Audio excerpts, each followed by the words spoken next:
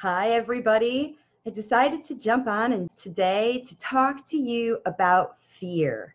My name is Marci Melzer, and I am an intuitive speech and language pathologist. And I help parents teach their late talking children how to use the words they need to share their wisdom with the world. This morning I woke up and I was doing my meditation, and over and over and over, the same message kept coming to me. And it is about, you know, I, I always often wonder what it is that I can say, you know, on these videos to help parents um, understand what I do and how they can help their kids. And today, you know, I've been thinking about what is it that's holding people up? You know, what is it that's that's keeping parents from enrolling in my program and getting started and getting their kids talking? And I think that there is most definitely a layer of fear that um, is sort of like a cloak that overwhelms people. It, it, it can just stop you from making progress in anything in your life. If you're afraid of the water, you're not going to learn to swim. If you're afraid of vehicles, you're not going to learn to drive. And if you are afraid about your child's late talking, then it very easily, very possibly could be keeping you from helping your child, whether you realize it or not. Um, because many of the fears that I'm going to talk about here today on this video are, are, you know, very common for families, but they also are subconscious. And I think people don't even necessarily realize that it might be fear that's holding you back.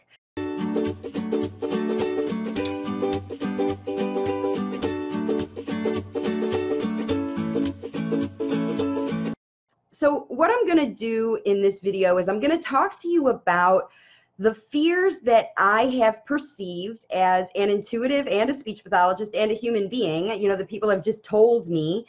Um, I've talked to more than 200 families on the phone, plus I talk to families online all day.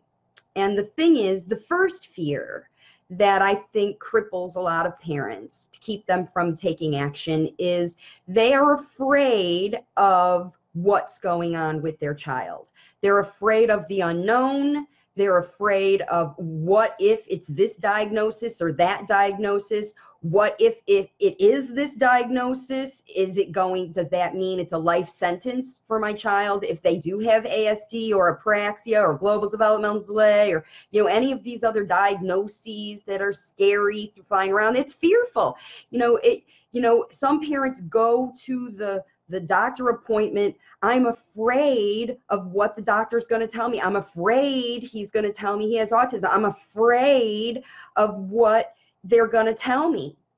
And you say that, you know, kind of off the cuff, you know, I'm afraid he's going to whatever. But just by even saying that word out loud, subconsciously that does something to you. And, you know, when you are afraid of something potentially coming at you or something potentially happening, it's going to stop you from the very beginning. Okay. So, my suggestion is if you are afraid about what's going on with your child and you are afraid even after you come out of the diagnostic appointment where they tell you what's going on with your child, then you don't understand exactly what's going on with your child. You're just afraid of what people have told you could potentially happen for your child or afraid about what you've read on the internet or afraid of what you've seen other parents go through with kids who maybe are older than your child or other kids who did receive that diagnosis. You also compare your child to every other child that you see who is their age, your friends, whenever you go to church or you're at the school or the supermarket or whatever, or other people, you know, unfortunately, other people may instill that fear in you by talking about their own fears. You know, I was afraid my child had had autism and I took him and he got diagnosed and it confirmed my fears. So, you know, all of those things. I mean, this is a very common dialogue for parents who are afraid of what's going on with your child. And the way for you to overcome that fear is to understand what's going on with your child. It is um, the issue with your child, the issue with you, the issue, you know, what you're doing at home, the environment, what happened to potentially cause it, all of that stuff. And and a label like a diagnosis like a, apraxia. My son has apraxia.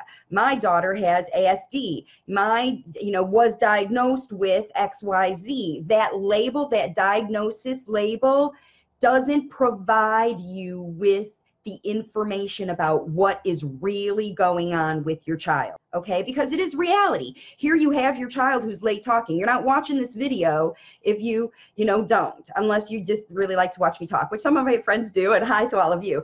But i think if you're watching this video you're feeling some fears and and those fears come from the diagnosis label often and what you perceive or feel about that diagnosis. So the thing is, like I said, these fears about the diagnosis are where it often starts. Okay. So then what happens is a parent will, once you get a diagnosis or suspect a diagnosis, or you think your child might have a diagnosis and you're Googling and searching and comparing and all of that, it's fueling that fear because what if he does have the diagnosis? What if it is? So, like I said, the way to follow, the way to, to know is to know exactly what's going on with your child. And that is to look at your child comprehensively. You need to look at them medically and their fears, the environment, all of that stuff. Okay, so that's the first way to overcome that fear. The second fear is either you've tried things that haven't worked or you are afraid that the presented option isn't going to work. Second fear is all right, so what do I do about it? I want to take action. You try, try, try. You go to speech therapy, you've been to early intervention, you've tried other things, and it's not working. Okay. Whatever's you've tried so far hasn't worked. Okay. So if you have tried things and they don't work, that's going to instill fear like, oh no, I'm going back to fear number one. Maybe my child is de- deemed for a life sentence of silence, or maybe we are going to be stuck with this iPad system our whole life. You know, if, if maybe you know you get afraid that you know now I'm afraid that my child has a permanent kind of issue, and I'm afraid that I don't know how to help them.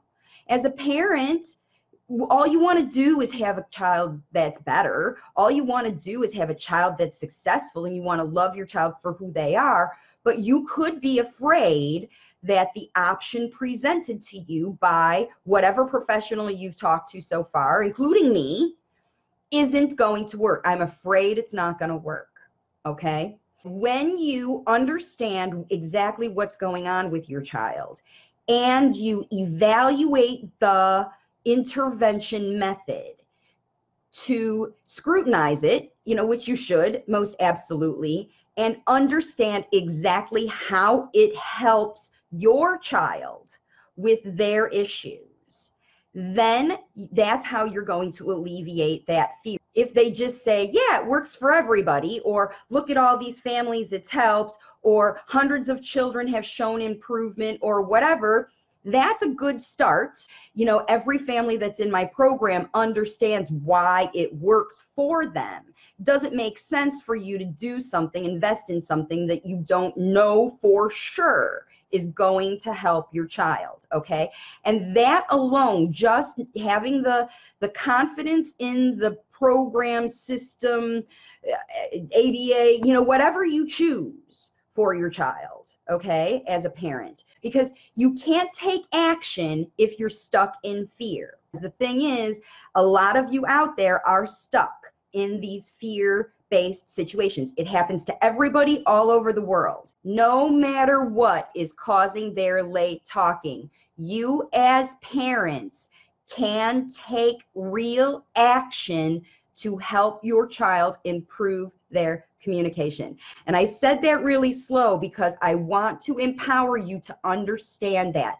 As afraid as you are right now watching this, that your child is never going to talk.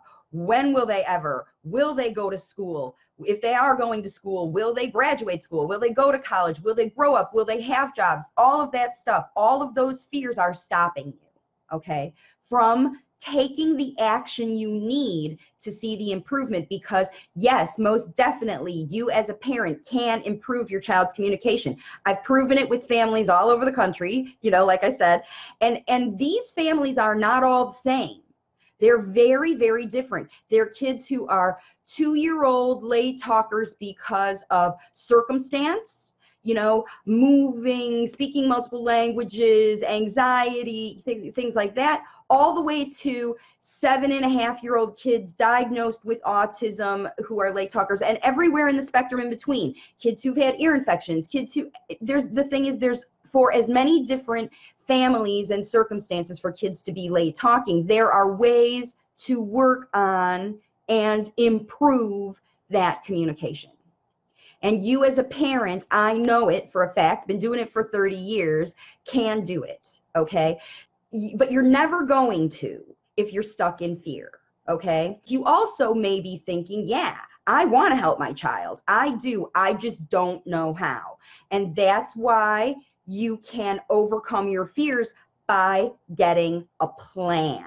Okay. The most important thing to get out of fear is to take action with a plan that is designed to exactly help your child do or improve the things that you want to teach them. So if you want to potty train your child, you're going to look at a plan to make that happen. If you want to make your child, you know, um, stop running into the street. You're going to have a plan to make that happen. You're going to always hold your child's hand because you're afraid your child's going to get hit by a car. So you're going to make a plan to keep your child from getting hit by a car. Okay. It's the same for late talking. So the thing that I'm here to tell you this morning is look, once you have a plan and you take action every day on that plan, no matter where your child's starting, if they're two years old or 10 years old or 20 years old, and they're not talking, and you find out why they're not talking and what's holding them back, like what are the blockages from keeping them to start talking. And then you have a plan to know how to do that, then you can help them, okay? All right, now, here's the next fear that parents present to me. All right. That fear is the cost. But the thing is, and this is what you really need to listen to. If you are afraid of the cost, and this is literally the words someone said to me in a text message yesterday I am desperate to help my child. I don't know what to do. I am afraid of the cost because XYZ list of reasons. I live in a place that's low economic. I blah, blah, blah, blah, blah. All of those reasons. And I get it. I do. I know that families are strapped. I know that money is tight. Money is just another way to succumb to the fear. Well, I don't know what's going on with my child exactly. And I don't exactly know how to help them and i am afraid this novel way or even whatever the the proven way you know that you know whatever isn't going to help. I'm afraid it's not going to work and i'm afraid i'm going to invest my money in something that isn't going to work or might not do it for me or whatever the money that you spend in your life about everything, it all goes toward solving problems. You're hungry, you spend money on food. You your car breaks down, you have to spend money to fix your car. But if you are afraid to spend money to get the solution for your child, then I'm telling you what, it's not the money that's holding you back. It is your fear. It is your fear of whatever else your child, the process, your ability to do the process, all of that stuff. Okay. So, like I said, if you're concerned about the cost and you're concerned about that stuff, then I really want you to start to look at yourself and understand where your fears are because you're not going to see improvement unless you can overcome those fears. You overcome these fears and take action when you know you know what the action is to help your child. So, and really start to, you know, write down, journal it out. Think about what am I afraid of? You know, and is that a fear that is keeping me from helping my child? Okay? And and if you want assistance and help to overcome those fears with a plan that you can use to take action, then that's when you need to reach out to me. And you can send me a private message or you can go to my website, wavesofcommunication.com, and I can explain to you on my free class, in my videos, on my um, strategy session call, I can explain to you exactly how it works. The only way anything is going to work for you is if you decide that it does, that it can, that it will. Fear is no joke, y'all. I'm not here putting everybody down. If fear is so real and it so happens to everybody and it is so crippling but I, you know, there are ways to overcome it, and people all over the world are enlightened and understanding that fear is just an energy, just like money, and you can exchange fear for hope, and you can exchange fear for promise. Because as soon as you start working with your child, I'm going to get emotional because that's what's happening. As soon as you get it, as soon as you start to take action, real targeted, direct action towards your problem, no matter what your problem is. Get over the fear and take the action. That's when you're going to see results. And that's what's happening to the parents in my program. And I hope, hope, hope it can happen for you too, because it is my mission to help as many parents as possible all over the world overcome these fears, help your children overcome their resistance, and get the communication flowing. Get the waves of communication flowing right into you.